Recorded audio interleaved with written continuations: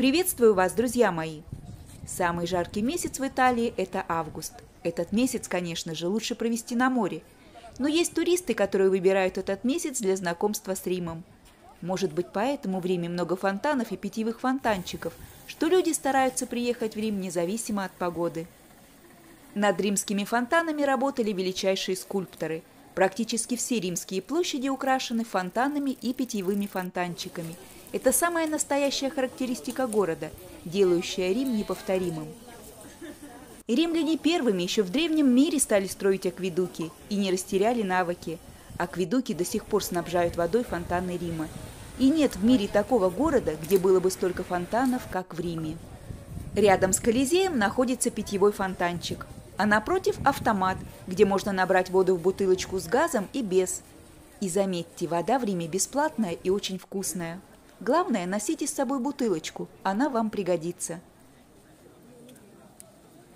Живя в комфорте и уверенности в 21 веке, никто бы и не подумал, что мы вновь можем столкнуться с какой-то эпидемией, которая поразит не только одну страну, а весь мир. В Италии вновь стали фиксировать новые случаи заболевших. В Риме ужесточают проверку тех, кто возвращается из отпуска.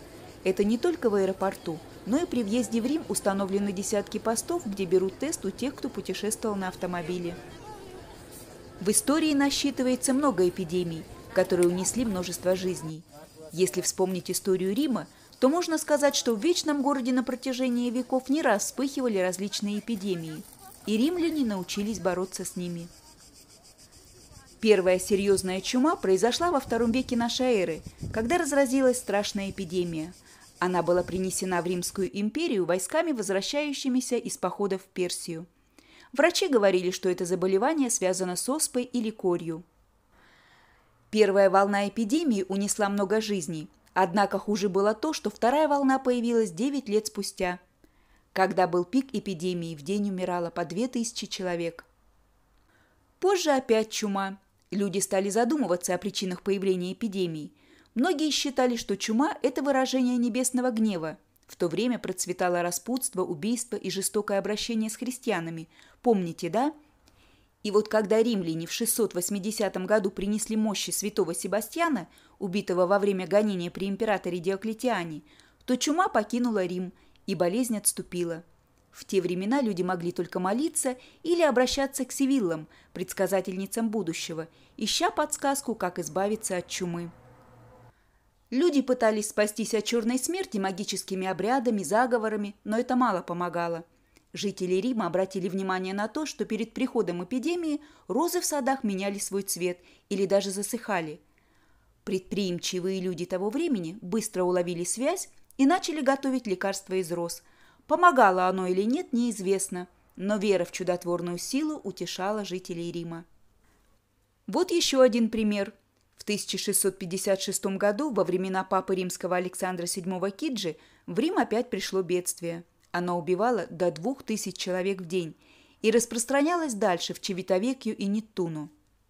Неаполитанский моряк умер в больнице, которая находилась у Латеранской базилики. Таким образом, инфекция распространилась в ближайшие районы Трастевери и Гетто – Александр VII распорядился закрыть суды, учебные заведения, то есть все места большого скопления людей – включая церкви. Дома и кварталы, где были зараженные люди, были изолированы. Папа дал распоряжение организовать госпитали и госпитализировать больных людей. Чума длилась 9 месяцев. То же самое мы перенесли в этом году. Некоторые эпидемии длятся месяцами, а некоторые – годами. Но все-таки будем надеяться, что вторая волна не будет такой опасной, как первая – все нормализуется, и уже весной 2021 года с новыми силами мы свободно сможем путешествовать. Как видите, Рим почти пустой. Туристов очень мало. Вход на комплекс Викториано, и это же алтарь Отечества. Этот монумент воздвигнут в честь первого короля Объединенной Италии Виктора Эммануила II. У подножья алтаря Отечества есть два фонтана – Слева фонтан, олицетворяющий Адриатическое море, а справа фонтан, олицетворяющий Теренское море. Эти два моря омывают берега Италии. Если бы сейчас это видела полиция, то ребятам бы выписали штраф. Сейчас на этих фонтанах запрещено сидеть, а тем более уж мыть ноги.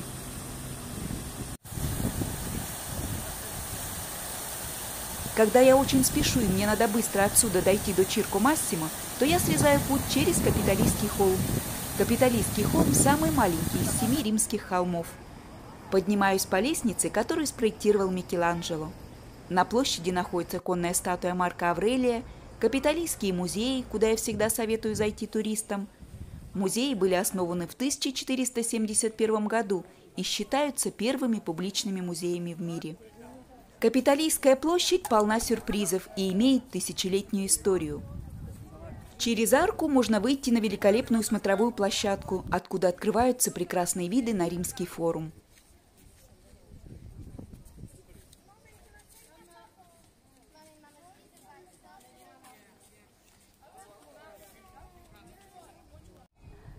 Под палящим солнцем почти никого не видно на римском форуме. Даже на холме Палатин очень мало народу. Та улица, по которой я сейчас выйду к Чирку Массимо, находится у меня за спиной –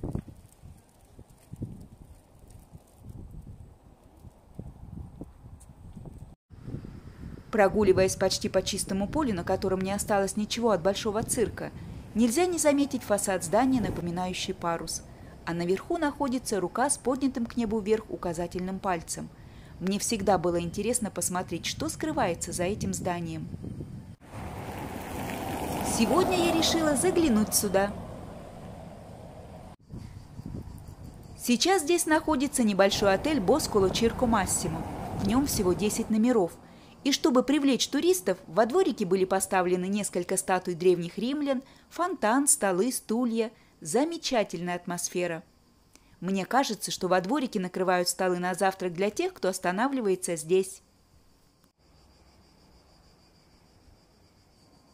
В XVI веке на этой территории находился монастырь.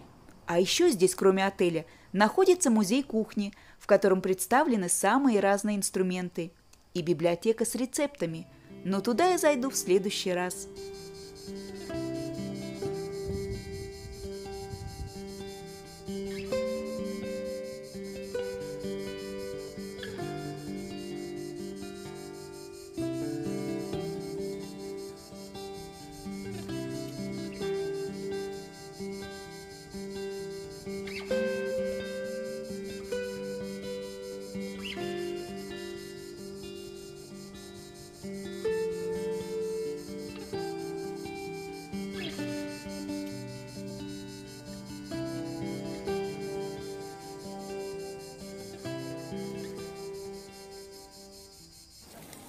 Район Трастевери можно смело назвать душой Рима. На этой территории находилась вилла Юлия Цезаря, на которой он принимал Клеопатру во время ее визита в Рим. Потом эти земли он завещал римскому народу. Здесь жили моряки, рыбаки, разные ремесленники. И сейчас этот район является народным. Здесь любят гулять не только туристы, но и местные жители. Те, кто еще не знаком с этим колоритным районом, то советую обязательно заглянуть сюда. Ну а те, кто уже бывал здесь, вам будет приятно еще раз прогуляться по узким средневековым улочкам.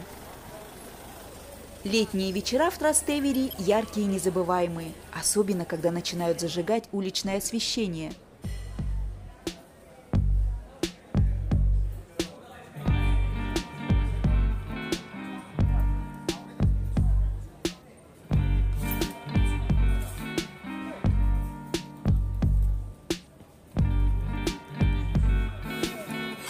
fai sedere? Eh? Ciao, ciao tesoro, ciao, ciao. Oh, che fa? Oh, che fa? Oh, che fa?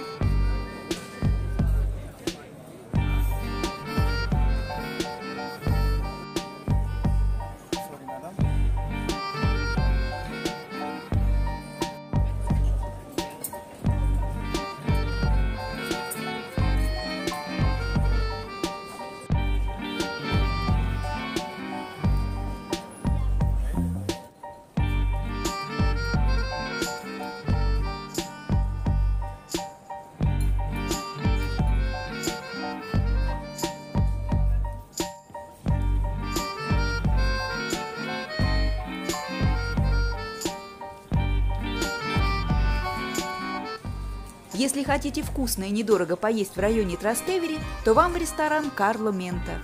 Знаю, что многие из вас уже бывали здесь. Сегодня у меня была вечерняя экскурсия по Трастевери. На ужин я не успевала домой, позвонила мужу, и мы решили поужинать в этом ресторанчике. Когда мы пришли, народу было мало, но через полчаса народ подтянулся, и все столы были заняты.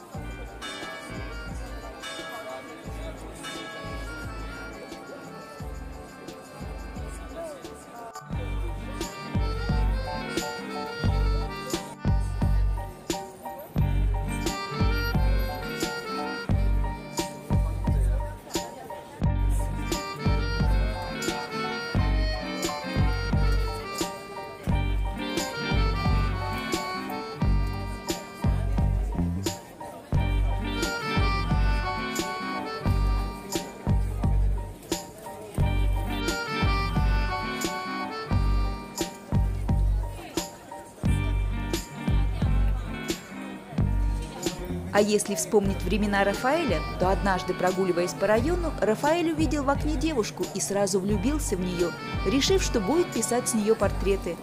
Рафаэль в то время работал неподалеку. Он расписывал виллу Форнезина для знатного банкира Агустина Киджи. Форнарина, так звали эту девушку, была возлюбленной Рафаэля и музой. А имя ее происходит от профессии ее отца. Он был пекарем. И еще одна очень интересная история, связанная с банкиром Агустино Киджи. Я уже рассказывала историю про него и куртизанку Империю. После ее смерти он недолго горевал и женился на другой. На вилле был шикарный и пышный банкет. Но в истории больше всего запомнилось празднование крещения первенца. Было приглашено много гостей. Для того, чтобы показать, как был богат банкир и как бы в знак щедрости, после банкета все серебряные и золотые блюда были выброшены в Тибр – прямо на глазах у изумленных гостей. Как поговаривают, что предварительно были брошены сети в реку, в которые падала вся дорогая посуда. Когда гости разошлись, всю посуду достали из Тибра.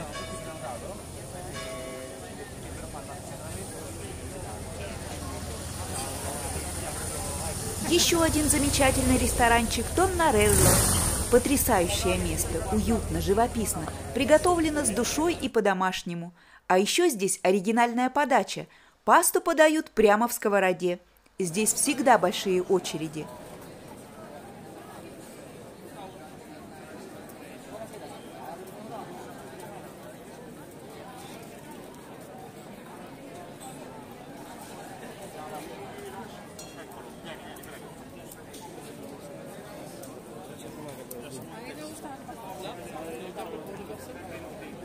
А еще атмосферу этому району придают торговцы.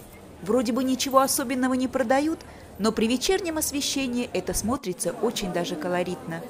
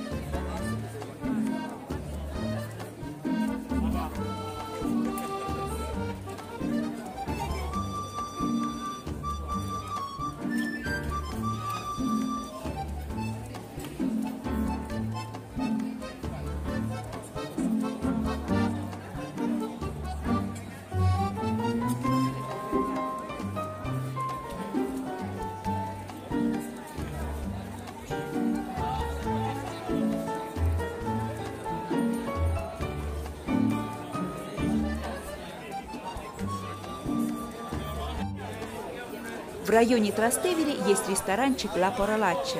В переводе означает «грязное слово» или «ругательство». Этот ресторан очень сильно отличается от обычного ресторана. Дело в том, что здесь официанты отпускают оскорбления и пошлые шутки в адрес клиента. Целый вечер шоу с шутками и оскорблениями, и все друг над другом смеются. Не стоит туда заходить тому, кто не понимает шуток.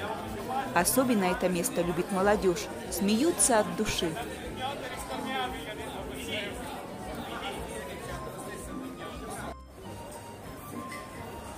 Это уже другой ресторанчик. Весь народ, который стоит на улице, это очередь в ресторан. Ни разу здесь не ужинали, надо будет как-нибудь сходить. На этом наша небольшая прогулка по Риму заканчивается. Надеюсь, что я смогла передать атмосферу, и вы хоть онлайн, но прогулялись по вечному городу. Берегите себя и всего вам хорошего. Огромное вам спасибо за комментарии, которые вы пишете мне под каждым видео. И до новых видео, друзья!